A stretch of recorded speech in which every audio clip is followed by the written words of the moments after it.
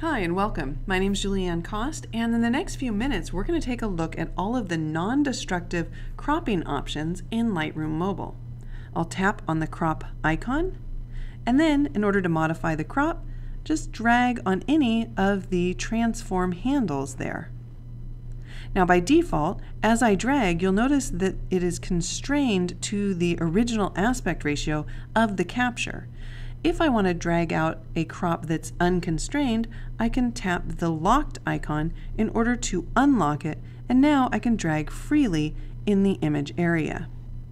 If I know that I want to crop to a specific aspect ratio, I can tap Custom and then select the aspect ratio from the list.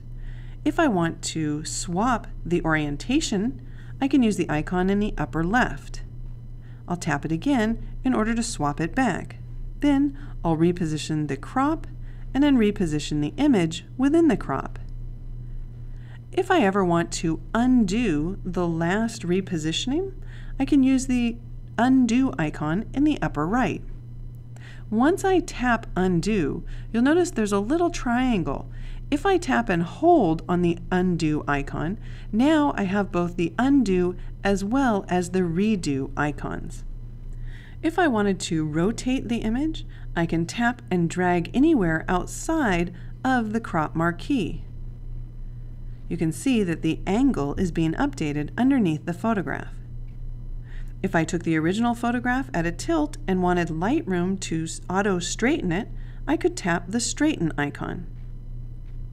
I can also rotate left, rotate right, or flip horizontally or vertical using the icons across the bottom. Now with this image, I want to crop it to a 1 by 1 aspect ratio, so I'll select that and then just reposition the image within that crop.